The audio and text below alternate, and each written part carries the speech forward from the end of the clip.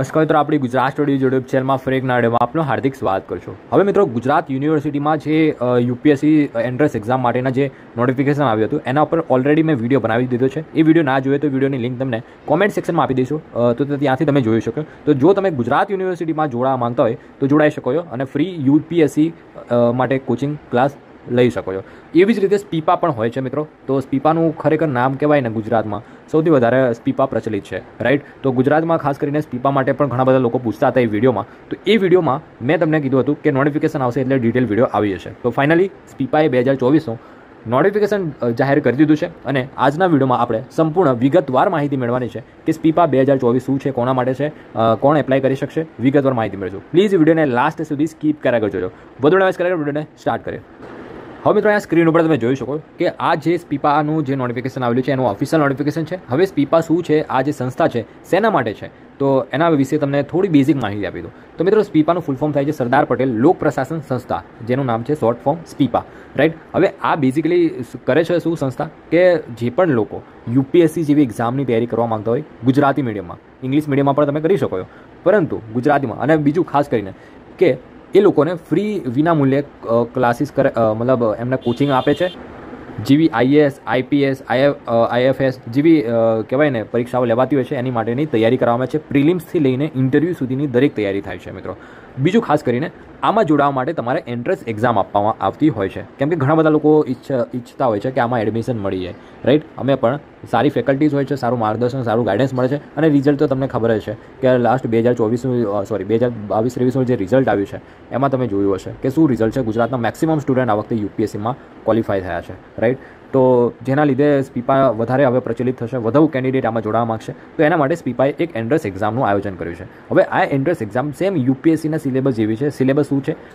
Pattern કેવી રીતની હોય છે એ પણ આગળ બતાવવાનું છું. એ એક્ઝામ ક્લિયર કરીને તમે એડમિશન મેળવી શકો એડમિશન થઈ ગયા પછી તમારી બિલકુલ તૈયારી જે છે એ સ્પીપાના ગાઈડન્સ હેઠળ તમારે કરવાની હોય છે રાઈટ ત્યાં જ તમારે રહેવાનું, જમવાનું અને હોસ્ટેલ ટાઈપની બધી જ સુવિધાઓ ફેસિલિટીઝ તમને મળતી હોય છે રાઈટ તો આ પ્રમાણેનું હોય છે સ્પીપા આ રીતનું કામ કરે છે. બીજું ખાસ કરીને આમાં એવું હોય છે કે જો તમે યુપીએસસી પ્રિલિમ્સ એક્ઝામ ક્લિયર કરી હોય તો તમે ડાયરેક્ટ આમાં એડમિશન લઈ શકો મીન્સ માટે. બરાબર? આમાં કોઈ એન્ટ્રન્સ એક્ઝામ નથી આપવાની પછી.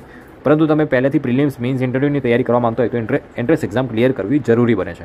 હવે એની માહિતી આપવાનો છું કે એન્ટ્રન્સ એક્ઝામમાં એપિયર થવા માટે તમારે શું શું લાયકાત હોવી જોઈએ, શું અહીંયા જરૂરી માહિતી માગેલી છે તમારી પાસેથી, એ ખાસ કરીને સમજે.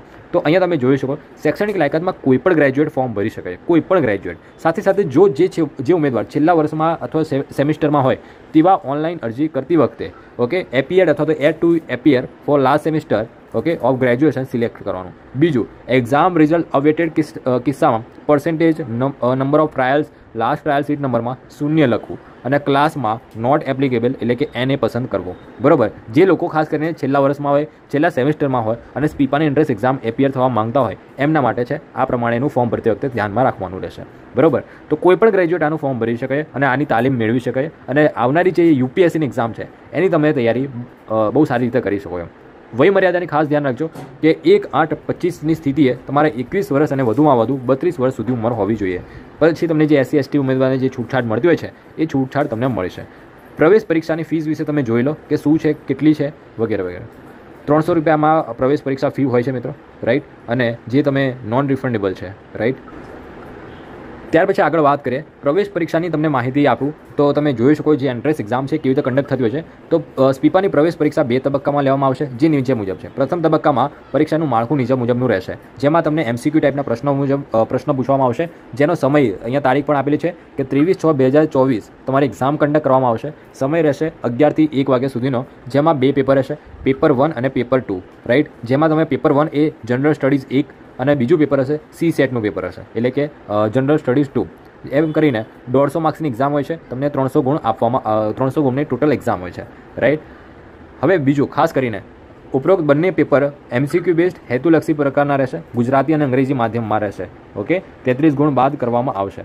રાઈટ એટલે કે જે ખોટા જવાબ હોય ને, અહીંયા વાંચી શકો. ખોટા જવાબ અથવા તો એક પ્રશ્નમાં એક કરતાં વધારે જવાબ, ઝીરો પોઈન્ટ તેત્રીસ માર્ક્સ કાપવામાં આવશે. રાઈટ તો તમારે એક્ઝામની ડેટ પણ આપી દીધી છે, તો તમે અત્યારથી તૈયારી આની એન્ટ્રન્સ એક્ઝામની કરી શકો. દ્વિતીય તબક્કામાં નિબંધ કસોટી રહેશે. પ્રથમ તબક્કાના પરીક્ષા પેપર એકમાં જનરલ સ્ટડીઝ પેપર એક, બે સીસેટના મેળવેલ ગુણના આધારે કેટેગરી વાઇઝ મેરિટ મુજબ પરીક્ષા સમિતિ દ્વારા નિયત થયેલ મિનિમમ માસિંગ પાસિંગ માર્ક્સ અને સંખ્યા બળના આધારે દ્વિતીય તબક્કા પરીક્ષા માટે પસંદગી પામેલ ઉમેદવારને બોલાવવામાં આવશે. દ્વિતીય તબક્કામાં પસંદગી પામેલ ઉમેદવારને લિસ્ટ સંસ્થાની વેબસાઇટ પર પ્રસિદ્ધ કરવામાં આવશે. બીજા તબક્કામાં નિબંધ કસોટી અંદાજિતમાં જુલ જુલાઈ અથવા તો ઓગસ્ટ મહિના બે હજાર ચોવીસમાં આયોજિત કરવામાં આવશે. એટલે કે મિત્રો, જે લોકો પેપર વન અને પેપર ટુ ક્લિયર કરે છે, એ લોકોને જે નિબંધ કસોટી દ્વિતીય તબક્કા માટે, એટલે કે સ્ટેજ ટુ કહી શકો એના માટે બોલાવવામાં આવશે નિબંધ કસોટી માટે. રાઈટ?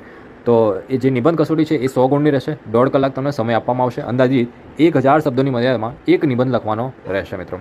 ઓકે? તો તમે ટોટલ કુલ માર્ક્સ એ જીએસ વન અને જીએસ ટુના ત્રણસો ગુણ અને નિબંધ કસોટીના સો ગુણ. એમ કરીને ચારસો ગુણના આધારે તમારી કહેવાય કે સિલેક્શન ફાઇનલ બનવાનું મેરિટ જે છે એ તૈયાર થતું હોય છે. રાઈટ અરજી કરવાની રીત અહીંયા આપેલી છે કે કેવી રીતે અરજી કરી શકો? ડિટેલ સિલેબસની વાત કરું તો અહીંયા તમે જોઈ શકો કે એનો ડિટેલ સિલેબસ પણ આપેલો છે કે પેપર વન જે છે જીએસ વન એનો સિલેબસ આપેલો છે કરંટ ઇવેન્ટ છે, જે તમે વિડીયોને પોઝ કરીને જોઈ શકો કે શું છે. બે કલાક તમને સમય આપવામાં આવશે બસો ગુણ માટે. અને પેપર ટુ છે, એના માટે પણ તમે જોઈ શકો, એના માટે તમને દોઢ કલાક સમય આપવામાં આવશે સી સેટનું જે પેપર છે એના માટે રાઈટ ત્રણસો ગુણની તમારી પેપર વન અને પેપર ટુ રહેશે એક્ઝામ તો આ હતી સંપૂર્ણ સ્પીપાની માહિતી રાઈટ બીજું તમારા ઘણા બધા જે પ્રશ્નો હોય છે કે હોસ્ટેલની સુવિધા રહેશે કે નહીં બીજું કે પછી આમાં રહેવા જમવાની સુવિધા, આમાં ફીસ કેટલી હોય છે, વગેરે વગેરે તમારા જે પ્રશ્નો હોય છે, એ વેબસાઇટની જે ઓફિશિયલ સ્પીપાની વેબસાઇટ છે, એ ત્યાંથી તમને મળી રહેશે. અથવા તો આના પર મેં ઓલરેડી ઘણા બધા વિડીયોઝ બનાવેલા છે. એ વિડીયોઝની લિંક તમને કોમેન્ટ સેક્શનમાં આપી દઈશ. ત્યાંથી તમે વીડિયો જોઈને પણ માહિતી મેળવી શકો મેં અગાઉ ઘણા બધા વિડીયોઝ બનાવેલા છે સ્પીપા ઉપર. તમે સર્ચ કરી શકો કે સ્પીપા બાય ગુજરાત સ્ટડીઝ તમને ઘણા બધા વિડીયોઝ આપણી ચેનલ પર મળી હશે. અથવા તો લિંક તમને એની આપી દઈશ. ત્યાંથી પણ તમે વીડિયો જોઈને માહિતી મેળવી શકો ઓકે તો મળે નેક્સ્ટ વિડીયોમાં આજ વીડિયો પૂરતો આટલું જ.